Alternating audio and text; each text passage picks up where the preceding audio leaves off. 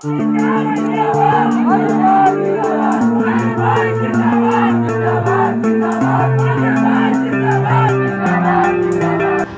प्रत्याशी की जीत पर लगे राष्ट्र विरोधी नारे।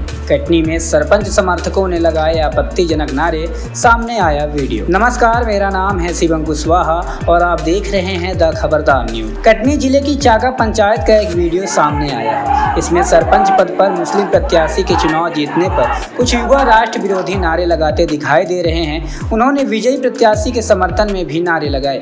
वीडियो में समर्थक जीत गया, भाई जीत गया के नारे सुनाई दे रहे हैं। ये वीडियो शुक्रवार रात का बताया जा रहा है। जो शनिवार को सामने आया। राष्ट्र विरोधी नारे वाले इस कथित वीडियो के सामने आने के बाद हड़कंप मच गया। शनिवार सुबह आक्रोशित लोग थाने पहुँच गए। उन्होंने शिकायत करते हुए कड़ी कार्रवाई की मांग की। पाकिस्तान जिंदाबाद पाकिस्तान जिंदाबाद वाजिद भाई जिंदाबाद, हिंदुस्तान मुर्दाबाद ये सब लिखा हुआ है, आया हुआ है। जो वीडियो हम पुलिस थाने में हम पेश कर चुके हैं। ग्रामीणों का कहना है कि युवाओं ने पहले गाँव में रैली निकालकर नारेबाजी की। इसके बाद प्रत्याशी के घर के पास राष्ट्र विरोधी नारे लगाए। शिकायतकर्ताओं का कहना है कि नारे लगा रहे कई लोगों को वह जानते हैं। वही नारे लगा रहे लोगों में कुछ के बाहरी होने का दावा भी उन्होंने किया।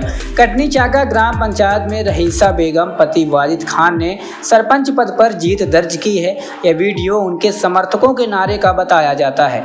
सीएसपी विजय प्रताप सिंह ने बताया कि ग्राम चाका के सचिन परोहा रहा और करीब 30 से 40 लोग आए थे।